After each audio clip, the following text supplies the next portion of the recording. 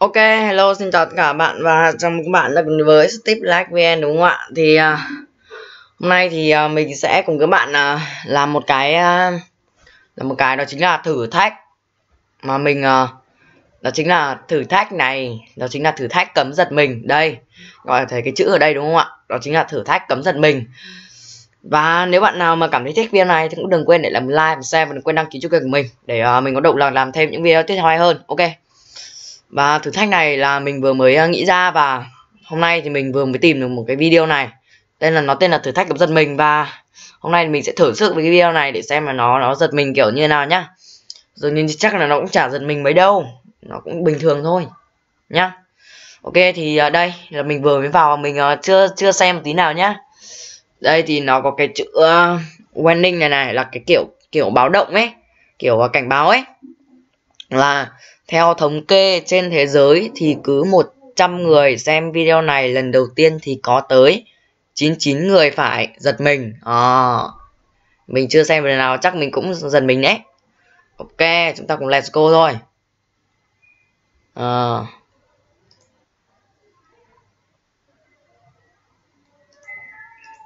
Một cái tiếng ghê thế.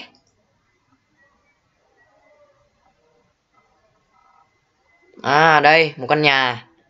Căn nhà thì có gì nào? À, đố bạn tìm thấy cô gái trong bức ảnh này. Cô gái đâu? Cô gái đâu các bạn? Trên rừng này à? Hay là ở dưới này? Ở bên này à? Có thấy gì đâu nào? Hãy tập trung nhìn vào điểm nổi bật nhất. Điểm nổi bật nhất thì mình nghĩ là cái tâm này này. Đây cái tâm này này. Đây cái tâm đây. Đó, chứ mình cũng chả dám chắc ở trên rừng hay ở nhà này. Bạn đã tìm thấy chưa? Chưa, mình vẫn chưa tìm thấy. Các bạn tìm thấy chưa? Chưa à? Mình chưa tìm thấy nhá. Cái nhạc ghế nhở có ai không? Hãy tập trung nhìn vào cánh cửa này. Cánh cửa nào? À đây. Mình sợ lắm các bạn ạ. Sợ lắm sợ lắm. Mình ờ, không quen ờ, ấy mấy kiểu video này. Ôi bạn ơi mình vừa giật mình xong các bạn ạ. Ôi quả đấy mình uh, chay mắt vào nhá xong rồi là mình chay mắt vào này xong mình uh, mở mở một tí như này này. Nhìn đến con mạng thì mình giật hết cả mình. Rồi nghe cái tiếng thôi mình cũng đã thấy giật mình rồi. Ok let's go tiếp. Nhạc này nhạc gì nhỉ? À mình biết bài này mình biết bài này. Kiểu nó cho nhạc để uh, nhạc để còn uh, giảm giảm bớt cái uh, nỗi sợ hãi ấy. Thanks for watching. Ôi video này là rất là có nguy cơ là ờ. À, bên kia có gì ấy? Bên kia có gì ấy? Ô bên kia có gì ấy? Ừ. Bên kia có gì ấy các bạn này? Đợi tí nhá đợi tí. Mình lỡ mình giảm giảm âm thanh.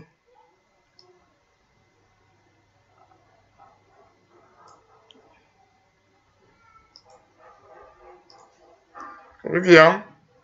Các bạn nhìn thấy gì không? Các bạn nhìn thấy gì không? Ôi! What the fuck? Vừa nãy mình chỉ mình uh, mình ờ, mình là nó rất là sợ nhất là mấy cái video kiểu này. Mình là kiểu là mình ờ, theo tâm linh ấy, theo tâm linh. Nên là mình ờ, nó rất là rất là, kiểu như là mình nó cảm giác là nó giật mình thật ấy. Kiểu như là có cái gì, có cái cảm giác gì ấy. rồi, chúng ta cùng này cô tiếp vẫn còn à? Sao không cho hết luôn đi, mình sợ lắm rồi. Mời các bạn nhìn kỹ vào giữa tâm. Đến hết clip để được có cảm giác thôi miên thật hơn các bạn nên để full màn hình. Để full màn hình này thì có gì? Mình thử nhìn kỹ vào xem nào, các bạn nhìn kỹ vào.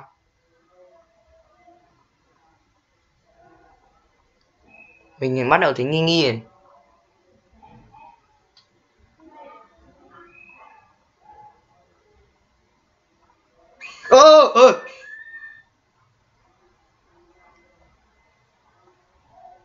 What the hell? Ok thì uh, vừa rồi là mình đã làm xong cái thử thách này và nếu bạn nào mà cảm thấy thích video này mình nói đầu rồi không cần nói nữa. Ok và tạm biệt các bạn ở những video sau nhá. Hết video rồi. Cái link video này mình sẽ để ở dưới phần mô tả. Bạn nào muốn uh, thử cảm giác với kiểu giật mình thì các bạn cứ uh, xuống phần mô tả là có ngay. Có ngay cái uh, cái điều kiện để đáp, đáp ứng cho các bạn nha. Ok bye bye tất cả mọi người nhá. Bye bye.